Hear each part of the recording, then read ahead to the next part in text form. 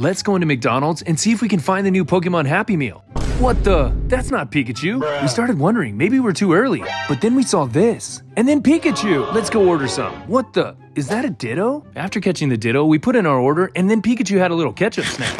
A few ketchups later. Hey, that's our order. Happy Meals for everyone. Inside, you get one of these match battle kits. Let's open mine and see what we get. Each pack comes with four cards, and you're guaranteed to get one of these six holos.